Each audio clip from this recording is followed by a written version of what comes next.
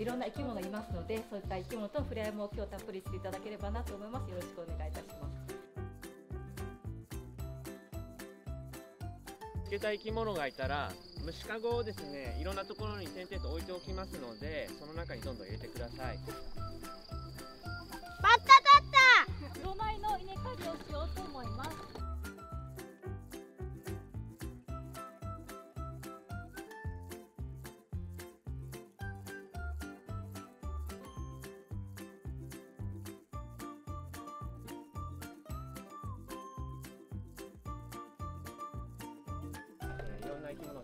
捕まえて、えー見てください。